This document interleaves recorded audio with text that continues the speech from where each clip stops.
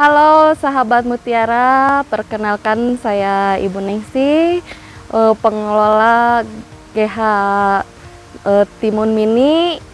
Sehari ini saya akan melakukan panen yang dilakukan setiap hari. Eh, timun melon ini dipanen setiap hari yang berbobot 30 gram sampai 40 gram, panjangnya 10 cm sampai 20 cm. Timun ini berbeda dengan timun yang lain uh, timun ini mempunyai rasa yang agak manis, kemudian teksturnya agak renyah, dan biasanya digunakan untuk salad. Semoga bermanfaat. Salam mutiara.